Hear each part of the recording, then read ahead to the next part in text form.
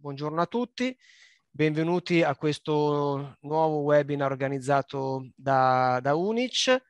Oggi parleremo di agevolazioni fiscali.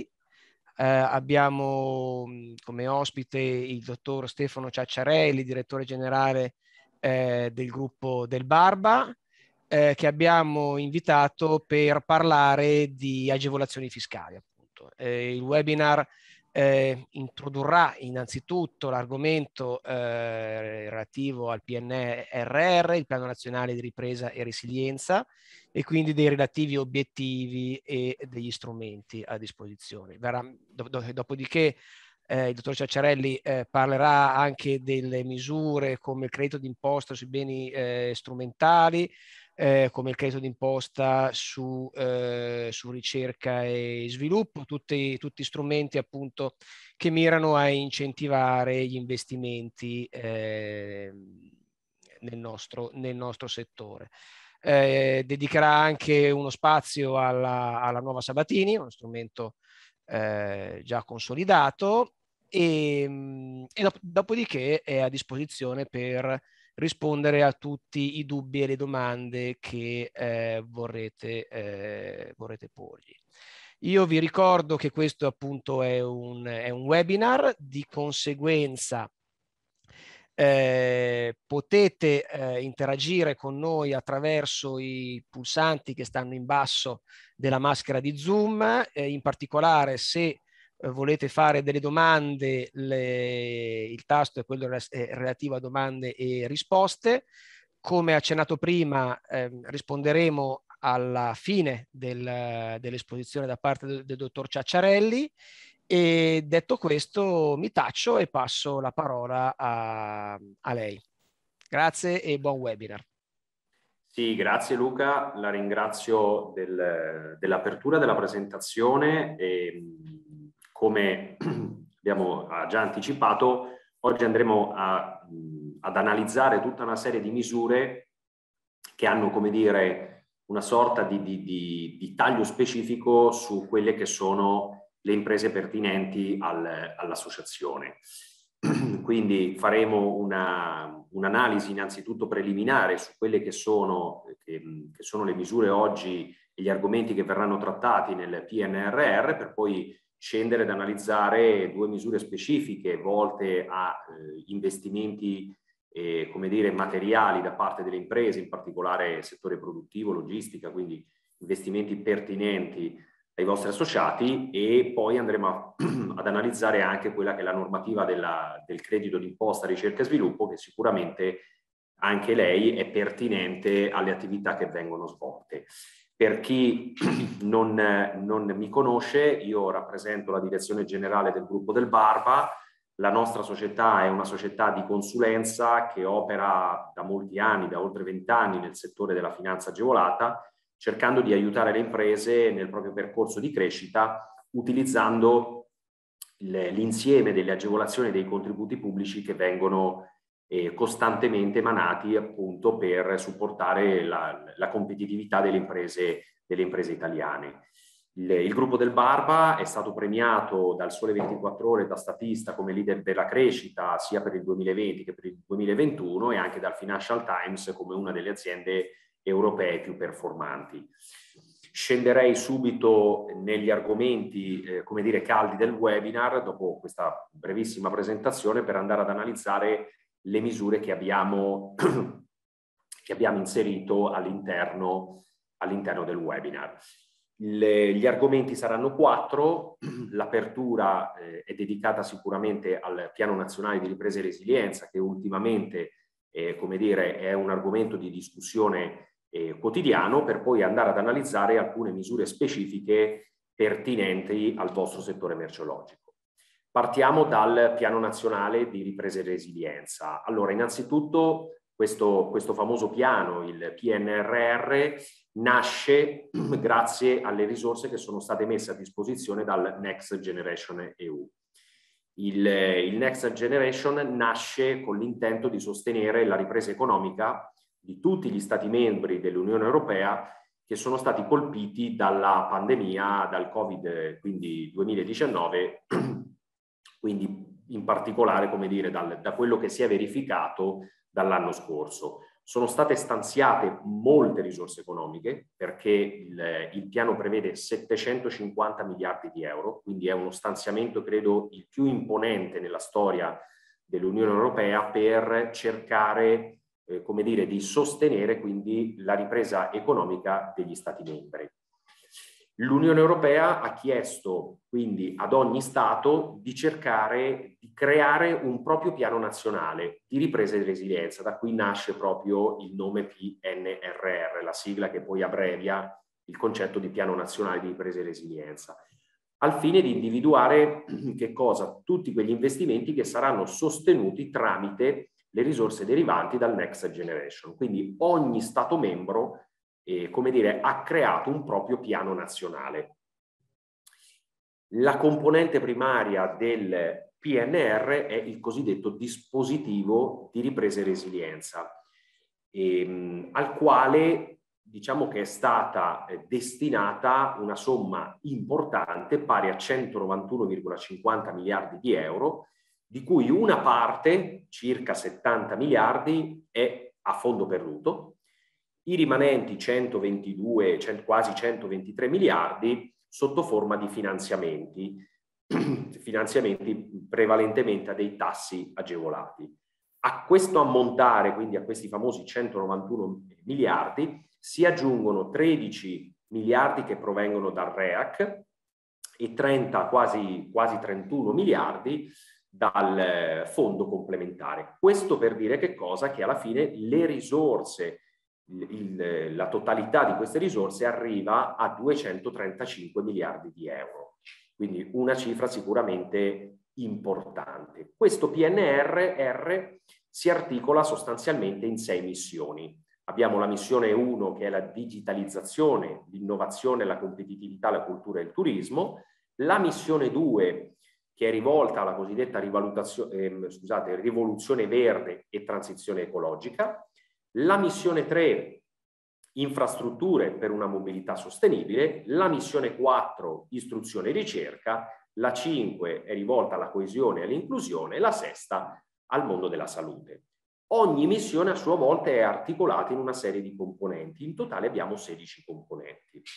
Andiamo a vedere quelle che sono, come dire, l'allocazione complessiva delle risorse per le varie missioni. Allora, diciamo che la missione sicuramente eh, rivolta alla digitalizzazione, all'innovazione, alla competitività, alla cultura e il turismo ha un, come dire, un ammontare di risorse sicuramente molto importanti che è circa di 40 miliardi di euro, insieme alla missione 2, rivoluzione verde e transizione ecologica, che ha un plafond di circa quasi 60 miliardi di euro, sono le due missioni dove graviteranno la maggior parte, come dire, delle risorse economiche, quasi più o meno il 50% delle risorse economiche eh, destinate alle varie, mh, eh, come dire, alle varie missioni. La missione 3, rivolta all'infrastruttura per una eh, mobilità sostenibile, ha uno stanziamento di circa 25 miliardi, l'istruzione e la ricerca circa 31, l'inclusione e la coesione siamo su circa 20 miliardi di euro, la salute poco più di 15 miliardi di euro. Questo per arrivare al complessivo dei famosi 191 miliardi,50. Come vi dicevo, le missioni hanno all'interno delle componenti. La, come dire, la missione 1 con la componente 2, che viene sintetizzata dalla sigla M1C2, è sicuramente quella molto eh, rivolta al settore industriale, quindi come dire a tutto il mondo produttivo e sicuramente al, alle imprese che, che, che rappresentate. È la missione quindi della digitalizzazione, dell'innovazione, della competitività nel sistema produttivo, circa 24 miliardi di euro. Qual è l'obiettivo di questa missione? Con la componente numero due, è proprio quella di favorire la transizione digitale e l'innovazione del sistema produttivo, incentivando gli investimenti in tecnologie avanzate, in ricerca ed innovazione. Quindi sicuramente il primo obiettivo è molto tagliato, come dire, sul sistema produttivo. che cerca di stimolare quelli che sono, come dire, gli investimenti in tecnologie avanzate, sia in ricerca che anche in innovazione.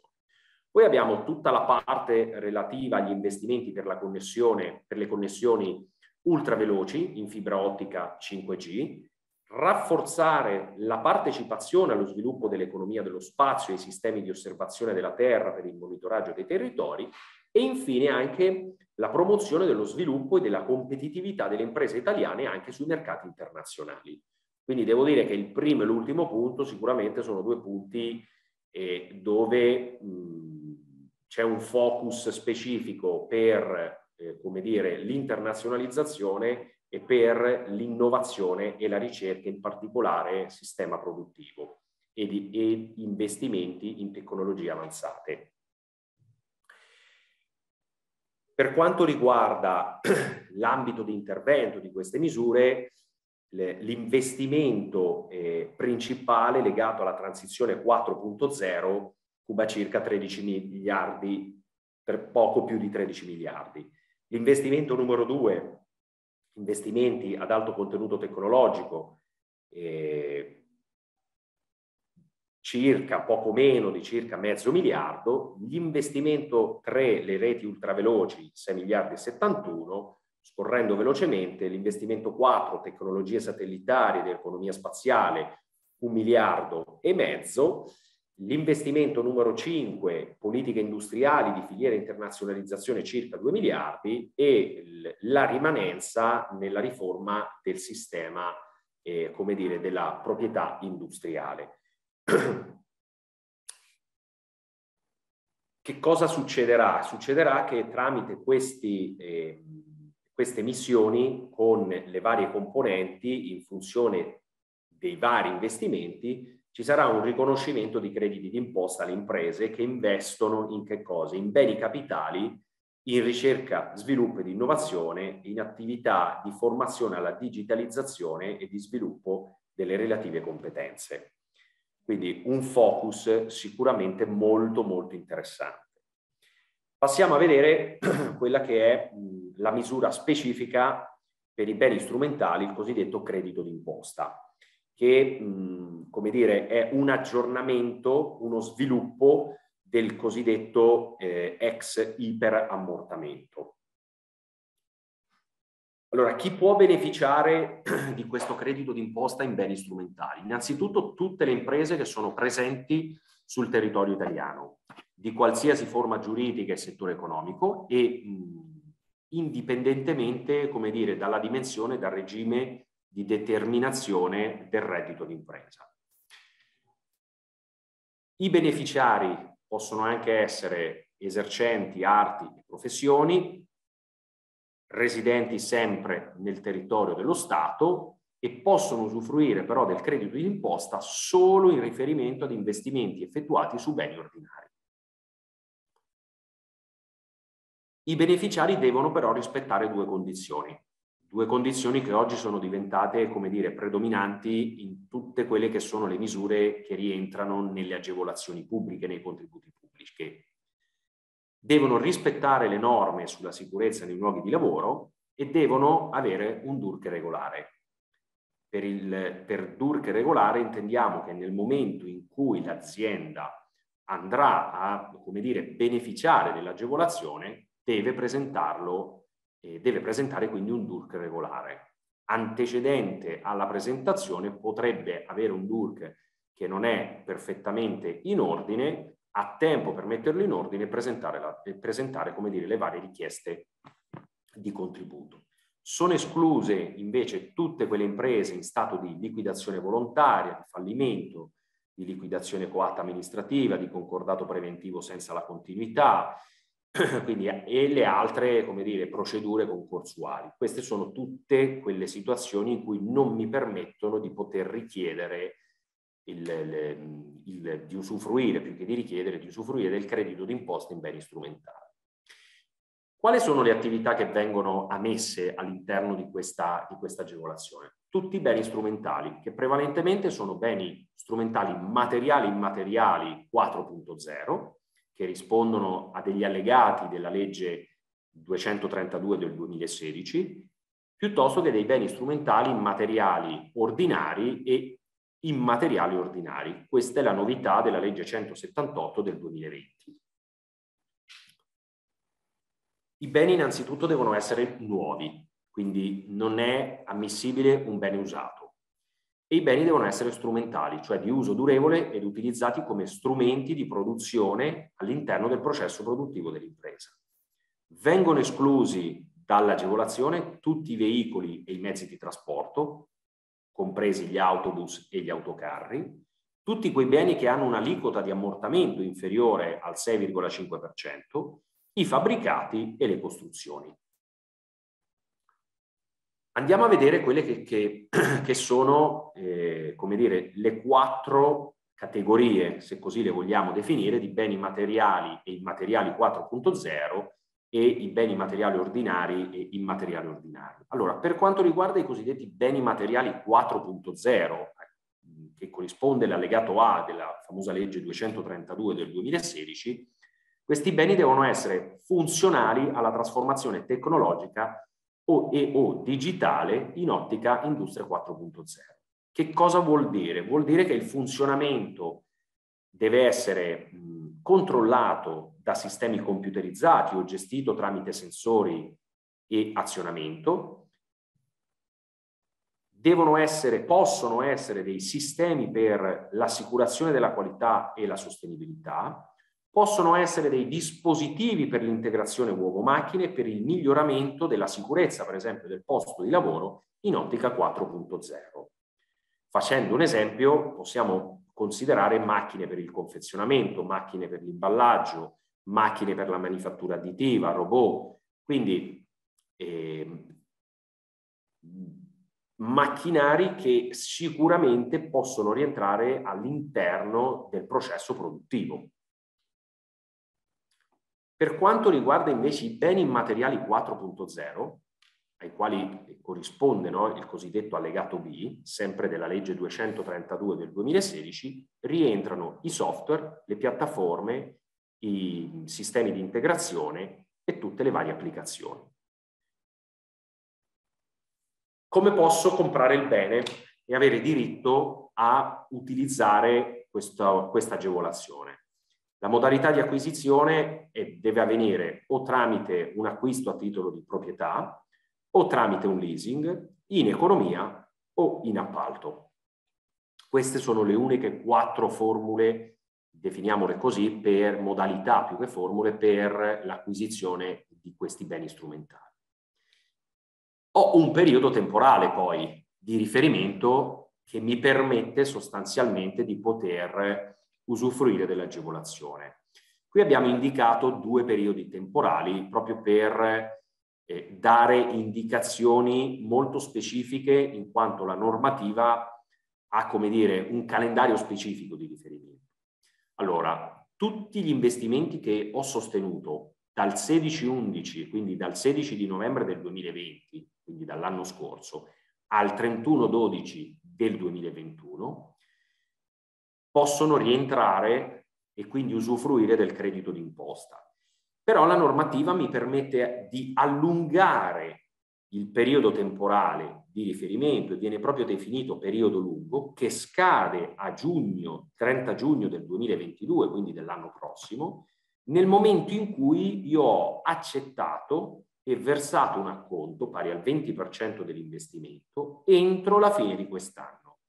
Quindi che cosa vuol dire? Vuol dire che io posso aver comprato, o meglio, aver ordinato un macchinario nel 2021. L'importante è che questo macchinario, se non viene consegnato entro la fine dell'anno, possa essere consegnato entro la fine del, di giugno del 2022 con la condizione di versare un acconto invece entro la fine del 2021. Tutti gli investimenti invece che effettuerò dal primo gennaio del 2022 termineranno, come dire, al 31-12 del 2022, ma avrò lo stesso concetto, cioè la normativa mi dice se verso un acconto entro la fine di quest'anno, ho tempo per terminare l'investimento, quindi il cosiddetto periodo lungo, il 30 giugno del 2023. Quindi ho la possibilità sostanzialmente di andare a recuperare sugli investimenti già sostenuti un beneficio fiscale e posso pianificare invece i miei futuri investimenti, quindi quelli che sosterrò a partire dal, dall'inizio del nuovo anno, perché anche su tutti gli investimenti che inizierò a sostenere da gennaio del 2022 posso, come dire, usufruire, beneficiare di questo credito d'imposta. Vediamo una serie, come dire, di tecnicismi per rendere, eh, per scendere un po' più nello specifico e mh, dare maggiori, come dire, indicazioni della normativa di riferimento. Quando è che si definisce il, il momento di effettuazione dell'investimento? Il momento di effettuazione dell'investimento eh, viene rappresentato dalla data della consegna o della spedizione, ovvero se diversa e successiva alla data in cui si verifica l'effetto traslativo costitutivo della proprietà o di altro diritto reale. Per quanto riguarda invece gli acquisti in leasing, si rileva che cosa? La data di consegna al locatario, in particolare la data di sottoscrizione del verbale di collaudo. E scendiamo per capire anche adesso su quelli che sono i benefici, quindi le percentuali che questa normativa eh, permette sostanzialmente di ricevere. Allora, per tutti i beni eh, strumentali, materiali che rientrano nell'allegato A, quindi stiamo parlando sostanzialmente di macchinari, attrezzature ed impianti. Per tutti gli investimenti sostenuti dal 16 novembre del 2020 al 31 di dicembre del 2021, ho diritto a un 50% sotto forma di credito d'imposta per investimenti fino a 2 milioni di euro. L'anno prossimo, quindi per gli investimenti che sosterrò dal 1 gennaio del del 2022 la percentuale si ridurrà al 40%, sempre con un tetto massimo di 2 milioni e mezzo. Per investimenti invece che vanno dai 2 milioni e mezzo ai 10 milioni, la percentuale è del 30%, l'anno prossimo si ridurrà del, al 20%. Mentre per tutti gli investimenti superiori ai 10 milioni, ma con un limite massimo di 20 milioni, il beneficio sarà pari al 10% sia per gli investimenti relativi al periodo attuale, sia anche per gli investimenti che sosterrò a partire dal 1 gennaio del 2022. Per quanto riguarda invece i beni immateriali, il famoso allegato B, sempre, le, eh, sempre rientranti nel concetto di industria 4.0, quindi come vi ho detto prima, i software, per fare un esempio semplice, ho diritto a un credito d'imposta pari al 20% per ogni investimento fino ad un milione di euro. Così per gli investimenti che sosterrò entro la fine di quest'anno e anche per gli investimenti futuri, cioè quelli relativi a tutto il 2022. Per quanto riguarda invece i beni materiali, quelli generici, anche qui ho delle percentuali differenti. Quindi sono tutti quelli che non rientrano nel concetto di industria 4.0. Quindi per gli investimenti che ho sostenuto dal 16 di novembre del 2020 entro la fine di quest'anno io avrò un 10% di beneficio per investimenti ordinari, 15% per beni funzionali allo smart working, fino ad un massimo di costi ammissibili pari a 2 milioni. L'anno prossimo l'aliquota sarà unica sia per gli investimenti ordinari che per quelli come dire, funzionale allo smart working e sarà pari al 6%, sempre con un tetto massimo di 2 milioni. Per i beni invece immateriali generici, quindi quelli immateriali comunque ordinari, io ho un beneficio pari al 10% per beni immateriali generici e 15% per quelli funzionali allo smart working, fino però ad un massimo di costi ammissibili pari ad un milione di euro. L'anno prossimo la percentuale anche qui sarà unica e sarà pari al 6% per investimenti fino ad un milione di euro.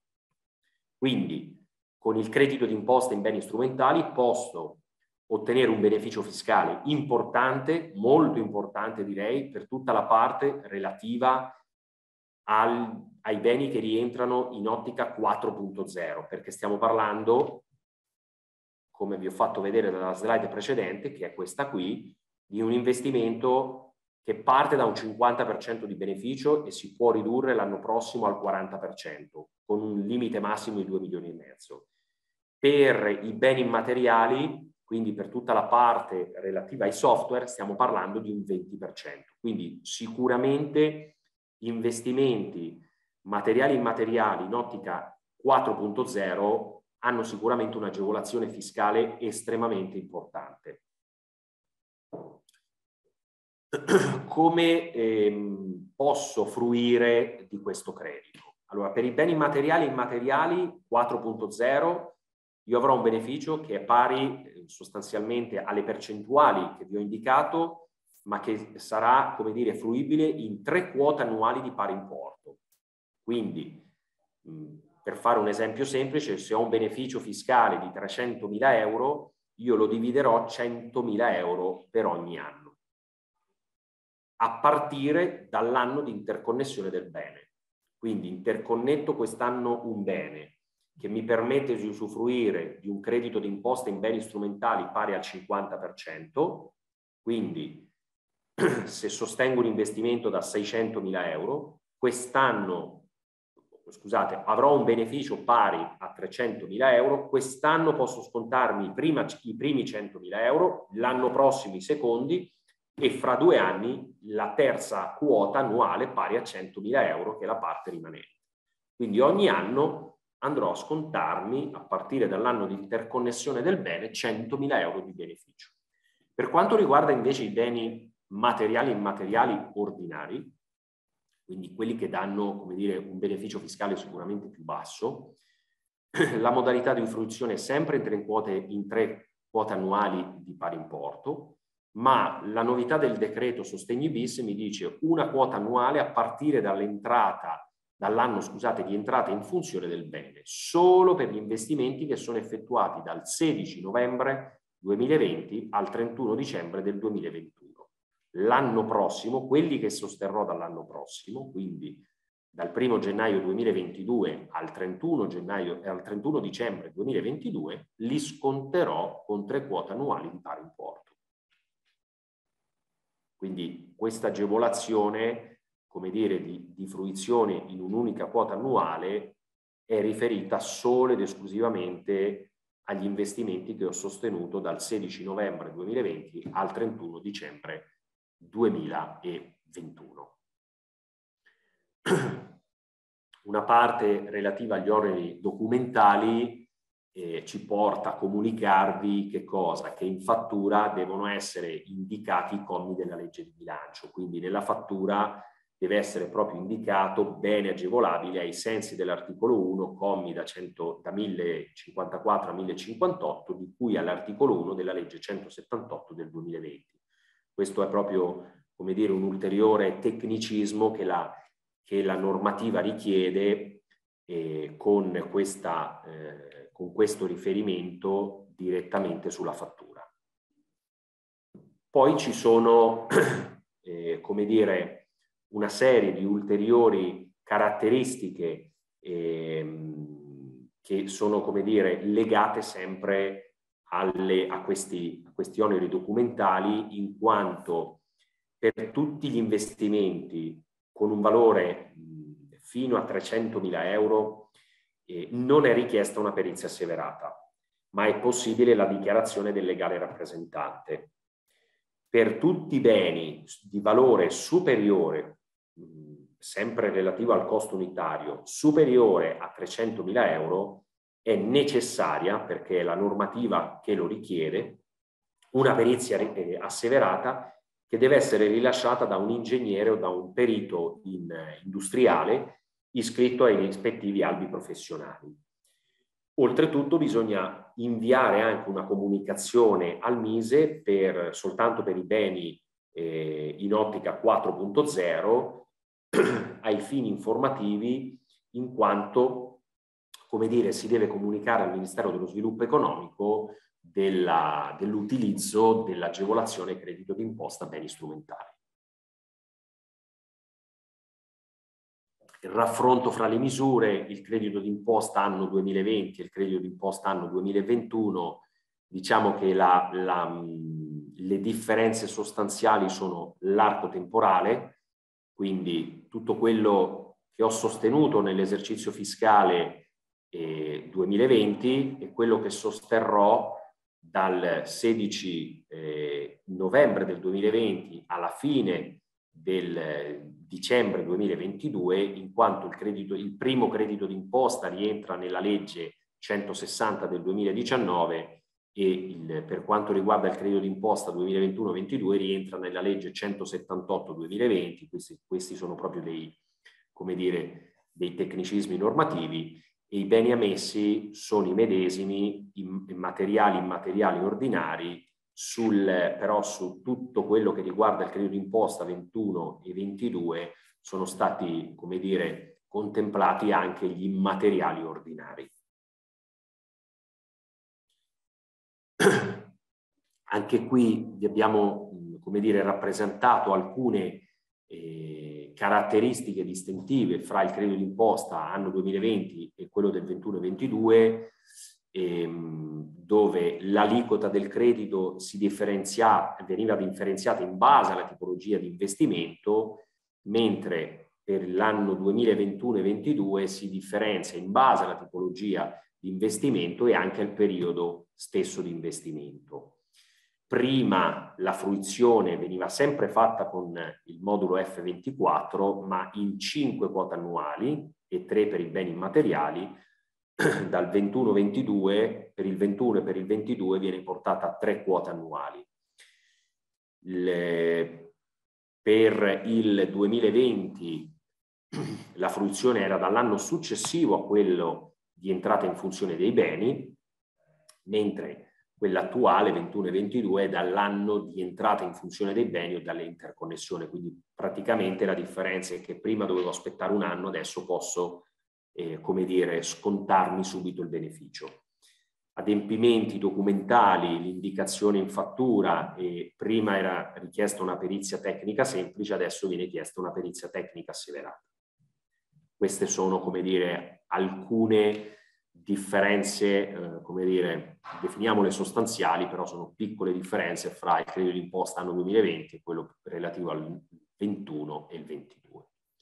Ricordiamo anche che per gli anni 18 e 19 è comunque utilizzabile sia il superammortamento che l'iperammortamento. Quindi il credito d'imposta in beni strumentali non è altro che un'evoluzione della precedente eh, normativa iperammortamento che mi dava la possibilità di maggiorare fino al 170% il costo di, acquis- di acquisizione dei beni materiali e immateriali 4.0. Quindi, come dire, è diventata una misura strutturale, è partita nel 2018 e sta, come dire, con il passare degli anni subendo una serie di modifiche, devo dire però una serie di modifiche che possono portare ad un beneficio immediato per, per le imprese che hanno diritto all'utilizzo dell'agevolazione. Andiamo a vedere adesso invece la normativa del credito d'imposta in ricerca e sviluppo, innovazione e design, che è sicuramente una normativa, come dire, eh, presente da molti anni, quindi molto probabilmente è una normativa eh, più conosciuta rispetto al credito d'imposta in beni strumentali. Le novità del, del credito d'imposta in ricerca e sviluppo riguardano innanzitutto la durata temporale, perché è stata prorogata fino alla fine dell'esercizio fiscale 2022 e presenta delle nuove aliquote. Giusto per una precisazione, questa normativa è nata nel 2015, quindi il credito d'imposta ricerca e sviluppo, eh, nascendo nel 2015, diciamo che sono già 6 esercizi fiscali no? Eh, durante i quali posso o ho potuto utilizzare la normativa, e posso perché? Perché ho ancora diritto all'utilizzo e a beneficiare di questa agevolazione tornando indietro, quindi con un effetto retroattivo, fino però all'esercizio fiscale 2016, dall'anno prossimo fino all'esercizio fiscale 2017. Quindi anche il credito d'imposta ricerca e sviluppo è diventata, come dire, una misura strutturale. Sicuramente anche lei ha subito delle variazioni nel corso degli anni, una variazione importante è proprio quella di nuove aliquote di beneficio per le imprese. I beneficiari rimangono sempre tutte le aziende presenti sul territorio italiano di qualsiasi forma giuridica e settore economico, indipendentemente dalla dimensione e dal regime di, de- di determinazione del reddito d'impresa. I beneficiari anche qui devono rispettare di questi due punti, come vi dicevo prima, sono diventate delle condizioni che vengono un po' applicate su tutto il mondo dei contributi e delle agevolazioni pubbliche. Ciò significa che le imprese devono rispettare le norme sulla sicurezza nei luoghi di lavoro e devono presentare un DUC regolare.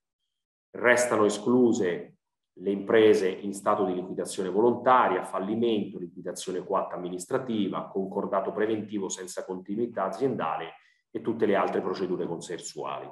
Quindi, come erano escluse dal credito d'imposta in beni strumentali, sono escluse anche dal credito d'imposta ricerca e sviluppo. Che cosa sono ammesse all'interno di questa agevolazione? Tutte le attività pertinenti alla ricerca e sviluppo che si dividono in ricerca fondamentale, ricerca industriale e ricerca sperimentale, innovazione tecnologica e design. Adesso ne andiamo, come dire, ad analizzare singolarmente per capire che cosa si intende per ricerca fondamentale, per ricerca industriale e per, ricerca, e per sviluppo sperimentale. Stessa cosa per innovazione tecnologica e design. Partiamo dalla ricerca fondamentale. Che cosa, è una, che, che cosa si intende per ricerca fondamentale? Mm, all'interno diciamo, di questo concetto rientrano i lavori sperimentali o teorici senza che siano previste applicazioni commerciali dirette. Nel decreto del Mise del 26 maggio del 2020 viene specificato che il risultato della ricerca fondamentale deve essere rappresentato di norma per mezzo o di teorie interpretative o di schemi o di diagrammi. La ricerca industriale invece è una ricerca pianificata con indagini critiche al fine di individuare le possibili utilizzazioni o applicazioni delle nuove conoscenze che derivano da, una, da un'attività di ricerca fondamentale, per esempio, o al fine di trovare nuove soluzioni per il raggiungimento di uno scopo, di un obiettivo pratico predeterminato. Il risultato di questa ricerca industriale deve essere rappresentato però con un modello di prova che permetta una verifica sperimentale delle ipotesi di partenza. Lo sviluppo sperimentale invece sono proprio i lavori sistematici che, vengono, che si basano sostanzialmente sulle conoscenze esistenti ottenute dalla ricerca o dall'esperienza pratica svolti allo scopo eh, di acquisire, come dire, ulteriori conoscenze, raccogliere ulteriori informazioni tecniche necessarie in funzione della realizzazione di nuovi prodotti. Per miglioramento significativo di processi o di prodotti già esistenti, che cosa si intende? Si intendono tutte quelle modifiche che hanno il carattere della novità e che, e che non sono riconducibili ad un semplice utilizzo dello stato dell'arte nel settore o dominio di riferimento. Per innovazione tecnologica invece intendiamo la realizzazione di prodotti o di processi di produzione nuovi o significativamente migliorati rispetto a quelli già eh, utilizzati e realizzati all'interno dell'azienda stessa e l'innovazione, l'innovazione tecnologica si divide in innovazione digitale 4.0 e transizione ecologica che cosa vuol dire?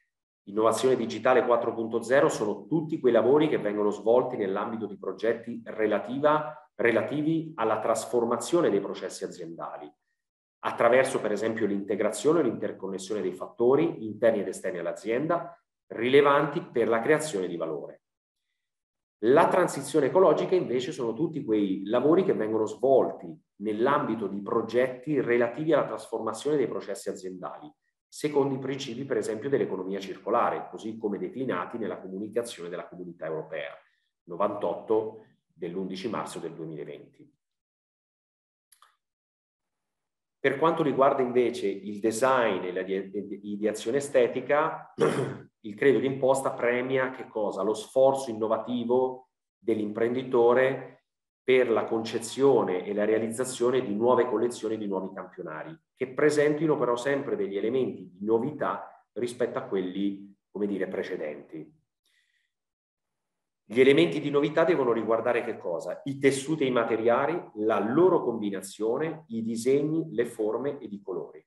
Non è ammessa la semplice modifica di un colore o di un dettaglio perché quello non rappresenta, come dire, un elemento di novità. Vediamo quelle che possono essere le spese che sono contemplate quindi da questo credito d'imposta in ricerca e sviluppo. Sono ammesse tutte le spese del personale interno, quindi dei dipendenti dell'azienda che partecipano, che sono, come dire, eh, parte integranti di questa attività di ricerca e sviluppo, le quote di ammortamento per beni materiali, software, privati e industriali, solo pertinenti alla ricerca e sviluppo, i contratti di ricerca e di innovazione, i servizi di consulenza, quindi tutto il mondo, come dire, della ricerca demandata ad un ente esterno, ad un laboratorio di ricerca, ad un'università, ad un consulente, sempre pertinente comunque ad attività di ricerca e sviluppo. E infine anche i materiali e le forniture. Quali sono anche per il credito d'imposta le agevolazioni, come dire, eh, di cui possono poi beneficiare le, le aziende. Allora, mh, passerei a questa slide perché ve le riassume insieme sia quelle relative all'esercizio fiscale 2020 sia quelle relative all'esercizio fiscale 2021 e 2022. Perché il credito d'imposta, il nuovo credito d'imposta, copre questi tre esercizi fiscali. L'anno 2020, quello terminato, il 2021, quello che sta terminando, e il nuovo anno, il 2022, quello che verrà. Partiamo dal, credi, da, dal credito d'imposta per l'anno 2020, quello appena chiuso. Ci sono delle aliquote che, come dire, vengono eh, che si differenziano per la tipologia delle spese ammissibili. Per tutta la ricerca industriale e lo sviluppo sperimentale l'aliquota è pari al 12%, con un importo massimo di 3 milioni. Il nuovo credito, quindi per l'esercizio 21 e 22, porterà questa aliquota al 20%, quindi abbiamo un incremento di 8 punti percentuali con un massimale di 4 milioni.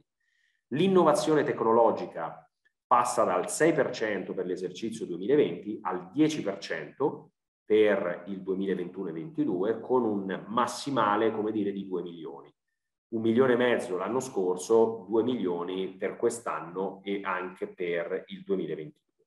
L'innovazione green e digitale passa dal 10% del 2020 al 15% del, per il 2021 e 2022 e anche in questo caso c'è un incremento del massimale da un milione e mezzo a due milioni.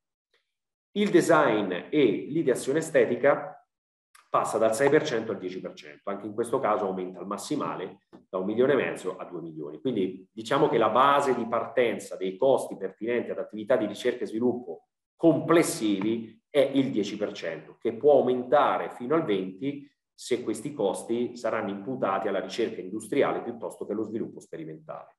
Quindi c'è stato sicuramente un incremento percentuale rispetto al 2020. Anche in questo caso eh, sono richieste una serie di oneri documentali, fra i quali una relazione tecnica che illustri le finalità, i contenuti e i risultati dell'attività di ricerca, una certificazione dei costi e una comunicazione al Ministero dello Sviluppo Economico, anche se ancora non sono definite bene le modalità di comunicazione, ehm, al quale verrà indicato, appunto, o meglio comunicato, che l'azienda ha utilizzato il, il credito d'imposta in ricerca e sviluppo. L'agevolazione si può, come dire, utilizzare esclusivamente in compensazione in tre quote annuali di pari importo dal periodo successivo a quello di maturazione. Che cosa vuol dire? Che per il 2020, quest'anno mi andrò a scontare un terzo del beneficio, l'anno prossimo un altro terzo e nel 2022 l'ultimo, l'ultimo terzo comunque dall'anno successivo a quello di maturazione del beneficio. Possibilità di recuperare i costi anche per le annualità precedenti con aliquote meccanismi di calcolo e tipologia di costi diversi. Era quello che vi stavo dicendo. La normativa del credito d'imposta nasce nel 2015. Quindi essendo diventata una normativa come dire, strutturale, ha subito delle variazioni. Dal 2015 per gli esercizi fiscali 2015 fino al, all'esercizio fiscale 2019, come dire, la modalità di calcolo e di fruizione è completamente diversa rispetto al, eh, dire, al, all'attuale credito d'imposta ricerca e sviluppo, ma eventualmente eh, rimanderei, come dire, la spiegazione di, questa, di questo precedente credito d'imposta che è sicuramente eh, differente dall'attuale ed eventualmente chi avesse necessità può tranquillamente contattarci per, per richiedere informazioni, informazioni in merito. Chiudiamo con la nuova Sabatini, che è sicuramente una normativa molto conosciuta ormai dal, dagli imprenditori italiani, perché anche questa è diventata, come dire, una normativa strutturale.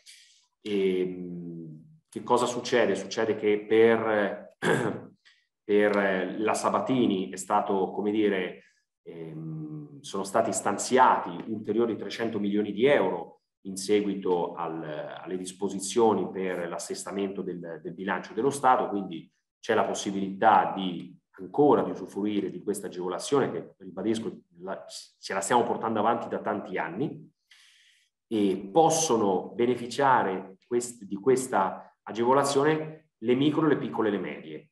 Quindi facciamo attenzione che in questo caso le grandi imprese non possono, eh, non possono beneficiarne, devono avere sempre una sede operativa in Italia, le cosiddette PMI, regolarmente costituite e iscritte nel registro delle imprese e sono escluse in questo caso tutte le imprese in difficoltà, tutte le imprese che esercitano attività finanziarie e assicurative e imprese che esercitano attività connesse all'esportazione e per gli interventi, come dire, subordinati all'impiego preferenziale di prodotti interni rispetto ai prodotti di, di importazione. Le attività ammissibili, quindi che cosa posso far finanziare tramite la nuova Sabatini, la creazione di un nuovo stabilimento, eh, l'ampliamento di uno stabilimento esistente, la diversificazione della produzione di uno stabilimento mediante prodotti nuovi, la trasformazione di un processo produttivo, l'acquisizione di attivi di uno stabilimento. Quindi voglio dire, posso far rientrare eh, molti investimenti prevalentemente eh, produttivi e non ehm, proprio per avere, come dire, la possibilità di, di, di finanziare la maggior parte delle, delle spese che sostengo. L'investimento deve essere successivo alla presentazione della domanda e si deve concludere entro 12 mesi dalla stipula del contratto di finanziamento. L'importo minimo per poter usufruire di questa, di questa agevolazione deve corrispondere l'investimento ad almeno 20.000 euro, quindi per valori inferiori non è possibile applicarlo le spese relative all'acquisto anche mediante locazione finanziaria e facciamo, possiamo far rientrare i macchinari, gli impianti, gli beni strumentali d'impresa, le attrezzature nuove ad uso produttivo, tecnologie digitali. E questi beni devono essere sicuramente nuovi, non possono essere, come dire, agevolabili beni usati o rigenerati, devono essere classificabili come immobilizzazioni nello stato dell'attivo patrimoniale, devono essere strumentali alle attività esercitate ubicati presso l'unità produttiva dell'impresa. L'agevolazione in che cosa consiste? Eh, è un contributo in conti impianti che viene erogato in un'unica soluzione pari all'ammontare complessivo degli interessi calcolati in via convenzionale su un finanziamento della durata di 5 anni. Valore massimo complessivo di 4 milioni ad un tasso di interesse pari al Qui andiamo da un 5,5% ad un tasso sicuramente più, eh, più, più ridotto che è pari al 2,75% per le varie tipologie di investimento che potete sicuramente vedere nella tabella, nella tabella legata. La domanda di agevolazione deve essere presentata alla banca o intermediario finanziario che deve essere a sua volta convenzionato con il Ministero dello Sviluppo Economico la banca o l'intermediario finanziario, previa una verifica della documentazione presentata, trasmette al Ministero la richiesta di prenotazione delle risorse relative al contributo. Il Ministero entro cinque giorni comunica la disponibilità o meno delle risorse. In caso di disponibilità, la banca a questo punto delibera il finanziamento. Il Ministero, ricevuto l'elenco dei finanziamenti deliberati, adotta il provvedimento di concessione delle agevolazioni e lo trasmette all'impresa e alla banca intermediario finanziario. Ricevuto quindi il, proced- il provvedimento di concessione, l'impresa beneficiaria stipula con la banca finanziaria il contratto di finanziamento. Quindi la domanda parte comunque dalla eh, presentazione presso l'istituto di credito che ricordo deve essere convenzionato. Ringrazio a tutti dell'attenzione, eh, a questo punto sono a disposizione per, per chiarimenti e ripasso la parola eh, a Luca Boltri per eh, gli approfondimenti del caso. Grazie mille, dottor Ciacciarelli. Beh, direi comunque una presentazione molto completa e articolata su questi, su questi strumenti, quindi eh, la ringrazio ancora a nome del, mm, dell'associazione. Ecco, eh, se eh, qualcuno vuole porre delle, delle, domande, lo può fare appunto attraverso eh, il, il, bottone al centro della maschera. Aspettiamo magari eh, un paio di minuti per vedere se qualcuno può, eh, ha qualche necessità di chiarimento. Noi avevamo intenzione di rimanere comunque attorno all'ora di, di durata, direi che ce l'abbiamo fatta egregiamente. Adesso, ecco. Mi, eh, dottor Ciaciarelli, chiedono se sono ammissibili le spese per l'acquisto di carrelli. Allora, per l'acquisto di carrelli bisogna capire questi carrelli, adesso così è molto generica, mm. e questi carrelli se sono, non so, mi viene l'esempio di un muletto non so se è il concetto del muletto. Carrelli, carrelli, carrelli elevatori. Carrelli elevatori, questi carrelli elevatori, se sono all'interno per esempio di un magazzino automatizzato, potrebbero sicuramente rientrare. Adesso poi eh, bisogna fare tutta una serie di approfondimenti tecnici sul macchinario, sulle caratteristiche tecniche del macchinario, capire se questi carrelli tecnici, questi carrelli elevatori, eh, come dire, eh, sono automatizzati, sono indipendenti, sono all'interno di un magazzino automatico, eh, però volendo potrebbero, potrebbero rientrare. Perfetto. Vediamo se ci sono. Sicuramente altri. il carrello elevatore potrebbe rientrare, potrebbe essere finanziato con una Sabatini e poi capire se esatto. c'è la possibilità di utilizzare il credito d'imposta in beni strumentali o in ottica 4.0 altrimenti non in ottica 4.0.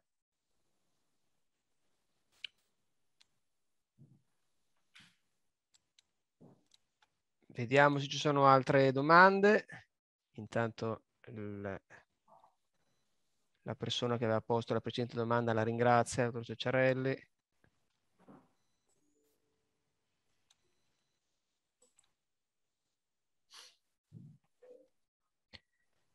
Ma eh, non vedendo altre domande, io, dottore, visto che siamo rimasti perfettamente nell'ora che ci eravamo prefissati, eh, la ringrazierei e la saluterei con eh, l'impegno ovviamente che, questo lo dico a tutti i partecipanti, ah, aspetti che c'è, ah sì, eh, chiedono se è possibile ricevere la presentazione. La possiamo condividere oppure magari diamo il suo contatto e come volete, se, se, ci volete fornire i contatti, inviamo la presentazione a tutti, come, come ritenete più... Va bene, allora adesso, adesso, magari vediamo comunque, sì, diciamo che da, da parte nostra c'è, c'è, c'è disponibilità a condividere le slide. Assolutamente.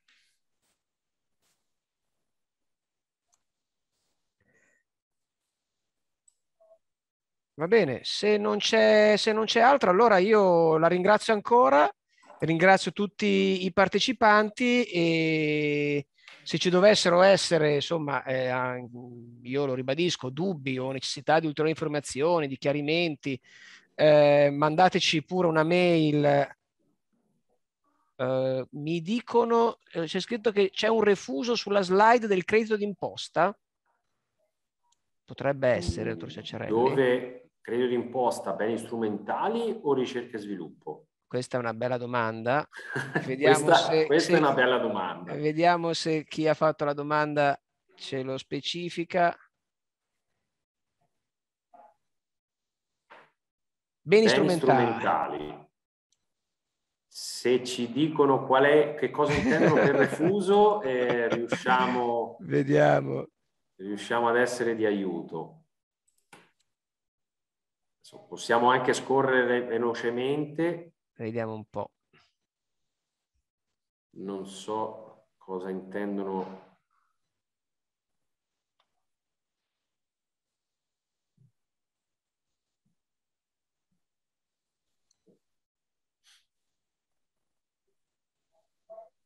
Vediamo se chi ha posto la segnalazione. Eh, sì, eh, il refuso è che non è dal primo dicembre 2022. Ah, sì.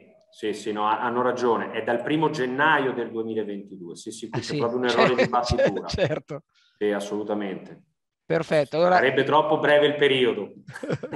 allora dal io... primo gennaio 2022 al 31 dicembre 2022. Perfetto. Allora io ringrazio pubblicamente il dottor Marone, eh, che ci conosciamo, per questa segnalazione.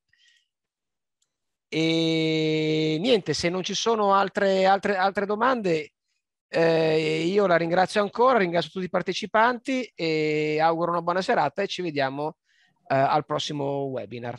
Grazie mille. Grazie a tutti voi, buona serata. Arrivederci. Salve. Arrivederci.